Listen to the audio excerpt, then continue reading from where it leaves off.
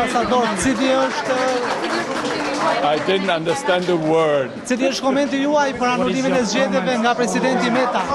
What reaction do you have on the annulment of the elections by the president of the republic?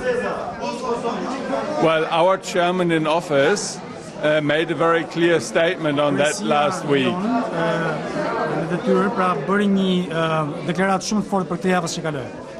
He said that setting the date of the elections is an internal issue of Albania. Dhe kryesia e radhës e OSBE-s kur ishte këtu tha që për sa përket zgjedhjeve është çështje e brendshme e Shqipërisë. Now this is a matter of internal debate. Tashmë kjo është bërë çështje e debatit të brendshëm. I am very confident that the Albanian institutions will uh, find a wise decision on who has a better legal argument. Dhe jam uh, kam shumë besim që institucionet shqiptare do të gjejnë se kush e ka argumentin më të mirë ligjor.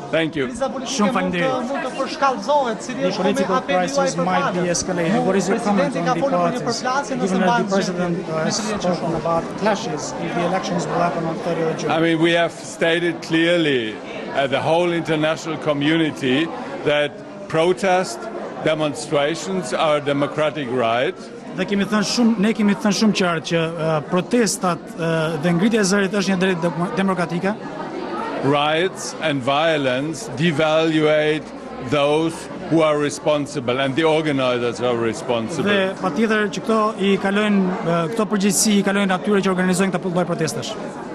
They are responsible for organized violence. Dhe kanë përgjegjësinë për dhunën e organizuar. Si e shihni procedurën e shkarkimit të presidentit të nisur nga majoranca të enjten e ardhshme? So what do you think about the discharging of the president from the majority next Thursday in the assembly? As I said, this is up to Albanian institutions to decide, and that is a matter of the parliament and then after its constitution of the constitutional court. Siç e thashë, kjo është Çështje e brendshme e Shqipërisë për të vendosur, që i përket Parlamentit, Kushtetutës dhe më pas Gjykatës Kushtetuese. Për OSBE-në do të ketë zgjedhje në 30 qershor, zgjedhjen? As far as the OSCE concerned, will there be elections on the 30th of June? As I said, the Albanian institutions have to find a decision about that. Dhe siç e thashë pra, institucionet shqiptare Janë ato që do të marrin këtë vendim.